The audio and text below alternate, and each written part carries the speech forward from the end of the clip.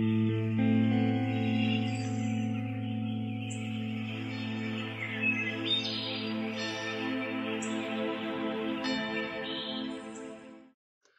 всем привет, хорошего настроения, познавательного вечера. Знаете, я с вами. Просто на работе и скоро... Вы на работе. Скоро кончится интернет, буду смотреть записи. Ну что, Данила с нами, это здорово. Анжелика из Беларуси. Привет, Анжелика. Вот. Наталья Северный Казахстан. Валерий Косич, здравствуйте. 5 мая посадила ваши саженцы, яблоки и абрикосов. Саженцы. Они прибыли в коробке около 10 дней. У двух яблонь почки зазеленели, остальные пока нет. Вы высылаете после обрезки. Но если они просидели лет в земле, и мы не увидели зеленеющих почек, может быть, сейчас обрезать на высоту карандаша? Да, вполне возможно, что это. 20 дней это сильно много для пересылки. Значит, вот после пары таких писем вроде бы нас и не упрекают ни Сергея, ни Татьяна, вроде бы не упрекает. А все равно, знаете, как на душе тяжело. Боже ты мой. Вот, и уже сказала, психанула, это Таня, и уже ей звонили с Казахстана. При мне не вышли, не вышли, не на дети. Все.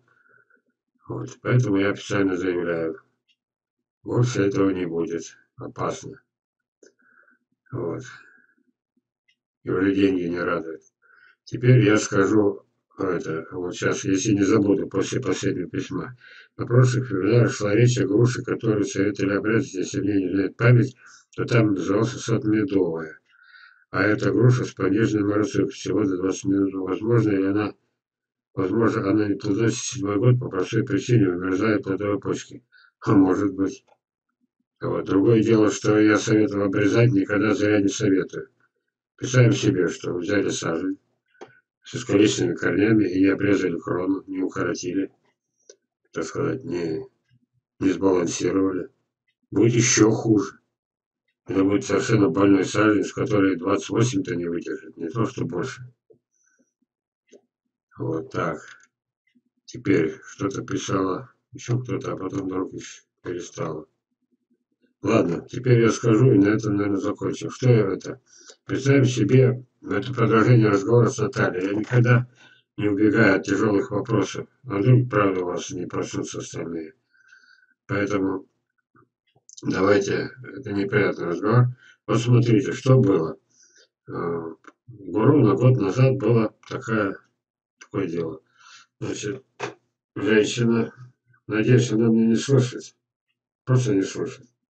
Потому что, что я хорошего могу сказать? Представим себе, что каждые несколько дней она получила посылку, тоже не, не за границей, но не близкий край.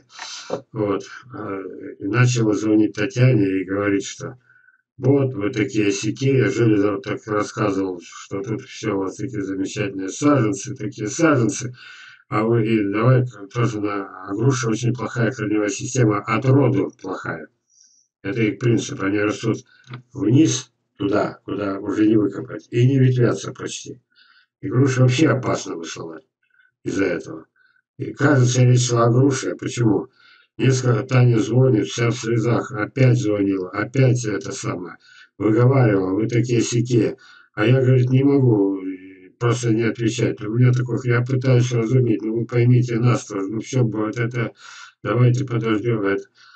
И, наконец, она перешла на меня. Я понял, каково Татьяне. Она вымотала уже нервы мне. Знаете, что я после этого, она-то не знает, что я после этого, наконец-то, впервые прибор купил. Этот, которым давление мерить. Вот, это расходы на ее совести. Вы думаете, это конец? Не, ребят, это не конец. Конец был потом. Я думаю, что Татьяне даже и себе хвалы добавилось. Может быть, она и красит, не красит, я не проверял. Но такие, это, это было невероятно, это было какая-то э, особая, не то, что она специально садистка, она искренне, она искренне переживала, она, она, ей надо было обязательно обвинить, саженец не просыпается. Наступило, прошел год. Она звонит счастливо, говорит, все саженцы зацвели. И как ей объяснить, что Нервы, а, и благодарила невероятно. Нервы-то вымотаны, их не вернешь. Нервные клетки не восстанавливаются, еще в школе проходили. Ну разве можно так было? Вы представляете, каково это? Вот. Когда человек хочет всем до, до, до добра принести. Ну даже если один из десяти союз погибнет. Но это же, я считаю, как в пределах этого ну, самого. Ну все, я, я просто от души это. Вот. Смотрите. Ну-ка, ну-ка. Что Глеб пишет? Купил у вас 10 саженцев груш, спустя год живы 9. Одного убил сам. ну, нормально. Ой, вы знаете, капризная груша. Спасибо, Глеб. Э, э, это, это все-таки...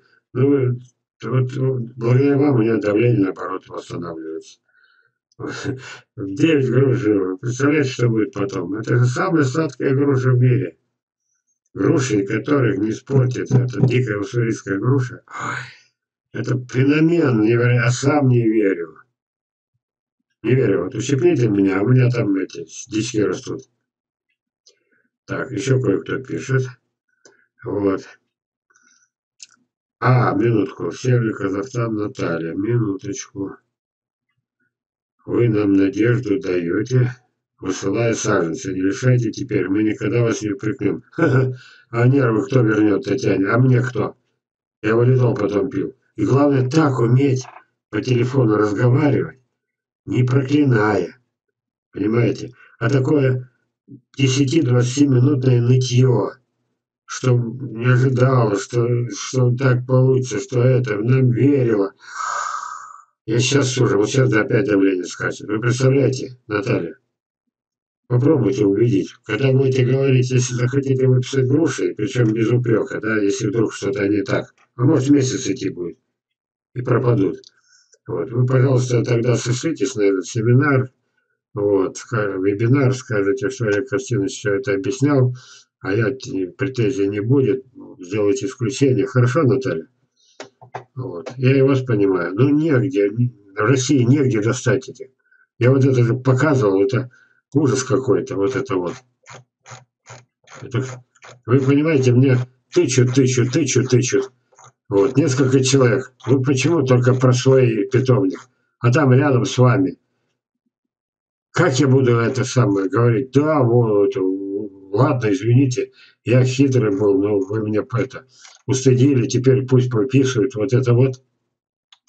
А? Вот это вот. Мне лучше промолчать, согласитесь. А вы вспомните, сколько человек я раскручивал. Десятки фамилий. Именно раскручивал не считая их соперниками. Для нас вообще это, если все наши саженцы, у всех, кто вы меня слушаете, несколько из вас питомники уже держат. Если все сложить, наши саженцы, ваши, там, у кого 100, у кого 1000, это получится меньше одного процента по сравнению с той дрянью, которая заполнила всю страну и которая не, не тревожит ни правительство, ни науку, не это самое. Ведь питомники честные, последние, сдохнут из-за этого. Пока одни продают за 8 тысяч, я показывал, другие по 200 рублей продать не могут. А это банкротство.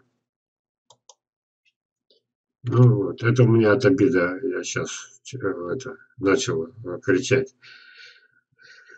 Так, читаем дальше. Так, я ничего не пропустил. Груши, если даже воткнуть весной обрезанные верхушки во влажную землю, укореняются. Обрезанные верхушки укореняются. Неоднократно обрезки подпреки втыкал в землю. Многие хорошо укореняются. Корни настоящей груши, да, очень голые. А, смотри, это, Александр Николаевич, вы совершенно правы, очень голые, да? Насчет укореняется, долгий ли срок, вот вопрос. Ну да, но даже то, что вы написали, для меня это новость, век живи, век учись. Я не раз говорил, что еще немного я к ученики пойду. Вот это для меня новость. Обрезки от прививки втыкал, хорошо укореняется. Вот. Я всю жизнь считал плохо укореняется, но я уверен. Так, смотрим, что пишет Гусева. Вот. У меня тоже груша, память я Лада не просыпается. Видно, поздно просыпается.